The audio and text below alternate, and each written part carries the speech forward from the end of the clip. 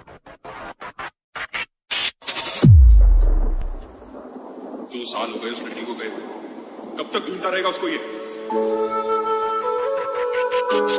ये